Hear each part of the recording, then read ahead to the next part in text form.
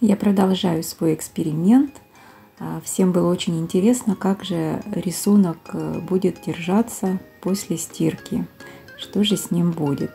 Поэтому я решила постирать свою футболку. Это, конечно, теплая вода и ручная бережная стирка. Ну, где мы стираем обычно, вот какие у нас загрязненные места. Это шея, это воротник и подмышками под, потереть получше. Рисунок э, сам можно э, слегка пожамкать руками.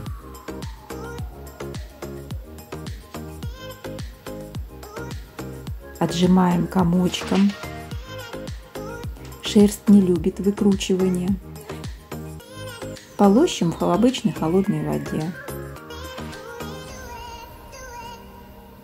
Прополаскиваем хорошенечко. Отжимаем комочком.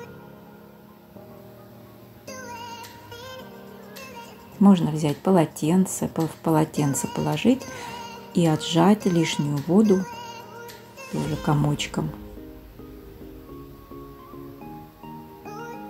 Ну а затем вот это обратная сторона.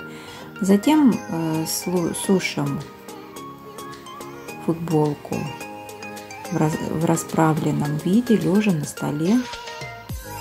Когда она уже просохла, можно отпарить рисунок утюгом с паром.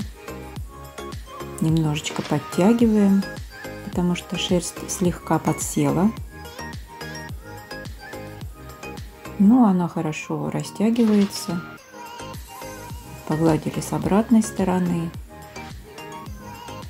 с лицевой стороны. Ну, я считаю, что эксперимент удался.